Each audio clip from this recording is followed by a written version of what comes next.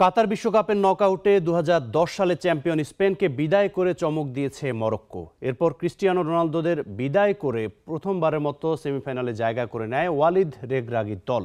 African কোনো দেশ হিসেবে প্রথমবারের মতো ফুটবল বিশ্বকাপের আসরে এত বড় কৃতিত্ব অর্জন করল মরক্কো। এবার সেমিফাইনালে প্রতিদ্বন্দ্বী ফ্রান্সকে চাপে রাখার কৌশল নিয়েছে দেশটি। দলকে সমর্থন যোগাতে ত্রিশটি বিমানে করে কাতারে আসছেন মরক্কানরা। বিস্তারিত জানাচ্ছেন পিন্টু হাজম প্রথমবারের মতো কোনো আরব দেশ ও মুসলমান প্রধান দেশ হিসেবে এবছর বিশ্বকাপ আয়োজন করে চমক দেখায় কাতার। সেই চমকে যোগ দিল মরক্কো। গ্রেটেস্ট শো অন আর্থের বিরানব্বই বছরের ইতিহাসে প্রথম কোনো আরব জাতি ও আফ্রিকান দেশ হিসেবে সেমিফাইনালে ওঠে মরক্কো।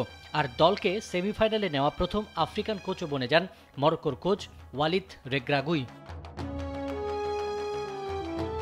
এমন স্মরণীয় অর্জনে গোটা আরব ও আফ্রিকান বিশ্বকে যেন এক সুতোয় বেঁধেছেন আশরাফ হাকিমি, হাকিম জিয়েক ইয়াসিন বনরা।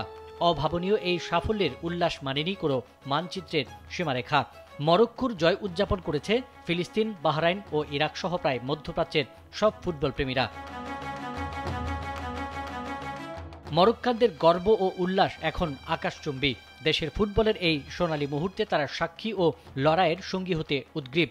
তাই ফুটবল যোদ্ধাদের সমর্থন যোগাতে ও প্রতিপক্ষকে চাপে রাখতে হাজারো মরক্কান যাচ্ছেন কাতারে।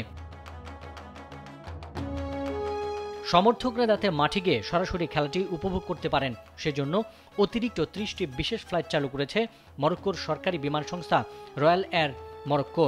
এক বিবৃতিতে এ তথ্য জানায় সংস্থাটি। বিবৃতিতে বলা হয়, দোহার উদ্দেশ্যে মরক্কোর বৃহত্তম শহর ও বাণিজ্যিক রাজধানী ক্যাসাব্ল্যাঙ্কা থেকে ছেড়ে যাবে এইসব ফ্লাইট। ভাড়া আপ ডাউন ধরা হবে জনপ্রতি মাত্র পাঁচ হাজার দিরহাম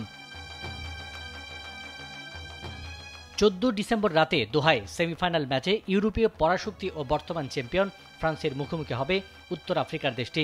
বিশ্বকাপের ছয়টি আসরে খেলার যোগ্যতা অর্জন করে মরক্কো। ষষ্ঠবারে এসে সেমিফাইনালে উঠল মরক্কো।